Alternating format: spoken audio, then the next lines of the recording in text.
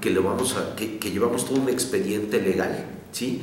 y que por los tiempos, pues lo, lo, jurídico se puede llevar meses o inclusive años, inclusive luego más allá de una administración, pero ya tenemos un avance, tenemos algo muy bien documentado que con el próximo gobierno, la próxima administración, ya entregar cada uno de estos expedientes y trabajarlos de manera conjunta en, estos, en estas semanas, en estos meses, para que ellos puedan continuar y seguir cuidando todos estos eh, programas de, de, de, uso de suelo y atacar a los, a los malos, ¿no? claro. a los abusivos. Y la, el tercer punto, la movilidad. Cada vez somos más, es más complicado moverse en grandes ciudades y nosotros aquí hemos apostado mucho para la movilidad, tanto la peatonal como la, la bicicleta. ¿sí? Eh, tenemos una buena parte de la delegación que es, que es plano, que sí nos permite una movilidad más, más tranquila, más segura y más fácil. ¿Sí? tenemos infraestructura, prácticamente este, eh, tenemos al 100% la infraestructura de, de, la delegación, calles, avenidas, parques, somos privilegiados en ese, en ese sentido, esta, esta zona de la ciudad, tenemos el bosque de Chapultepec, claro. esto también ayuda con, eh, para poderse mover peatonalmente o en transporte público.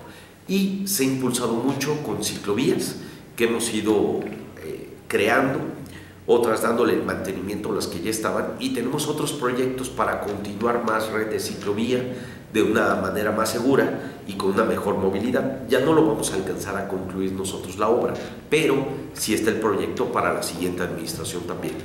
Tres años son pocos, ¿sí? Claro. Pero si vemos de una manera ordenada y de una manera también muy generosa, independientemente de quién venga, de, independientemente de a quién le vamos a entregar la estafeta de la siguiente administración. Aquí están los proyectos, aquí está lo que hemos realizado y finalmente no es tanto una, una decisión unilateral, unilateral de este gobierno, sino fue un trabajo con los vecinos.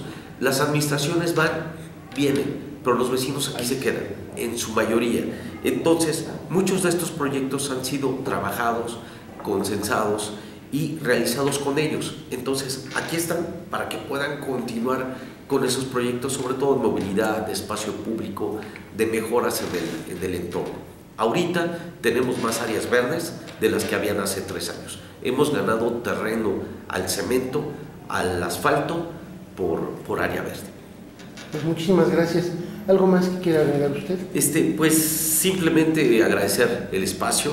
Estamos aquí a la orden en la delegación Miguel Hidalgo. Todavía eh, muchos dicen, bueno, pues es que ustedes ya se van. Pues sí, terminamos el 30 de septiembre, pero todavía tenemos varias, varias semanas que estamos aquí a sus, a sus órdenes y también para decirles a los vecinos de todos los proyectos que estamos eh, dejando, lo vamos a hacer del conocimiento público. Ya hemos tenido un acercamiento con la nueva administración y ha sido de manera muy cordial, como debe de ser.